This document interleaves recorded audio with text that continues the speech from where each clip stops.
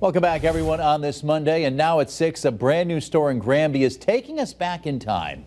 Western Mass News reporter Reagan Lokri has more on the nostalgic new business helping customers relive their childhood.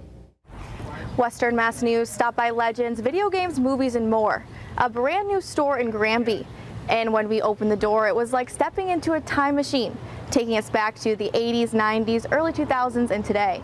As soon as we stepped in here, the first thing we noticed was like all the old VHSs right there. You know, it's kind of like, you know, it just brings back, you know, that childhood feeling of, you know, having the cabinet full of VHS tapes and popping them in and whatnot. Blu-rays, Pez dispensers, Pokemon cards, you name it, Christopher Silvestri's got it. He tells Western Mass News he's been dreaming of opening a store to sell, trade, and buy those nostalgic staples from his childhood for the last 15 years. And thanks to the help of his wife, Amy, and daughter, Evelyn, his dreams are coming true. My wife helped me a ton. so, uh, and Evelyn helped me a ton too, my daughter. So that, that they, they were both the MVPs of all this.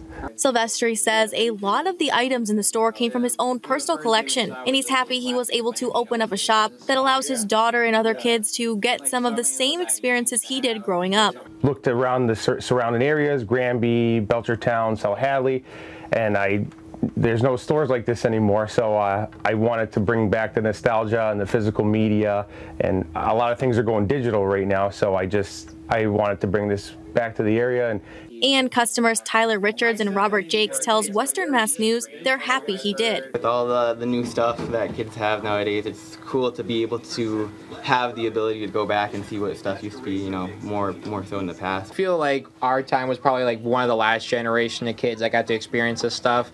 So if it could be brought back, that'd be amazing. Shopper Robert Jakes tells Western Mass News walking into places like this gives him a feeling he just can't describe. Sort of something that's been lost that was so great where like it, people used to go like video store even just to hang out. Like it was even a good area where you can socialize with people and just I think it needs to people need to be together more. We've been separated for way too long. And that's exactly what Silvestri was going for. I want you to feel like almost like you're a kid again, back from the, in the 80s and 90s. I want them when they walk out to feel like a legend.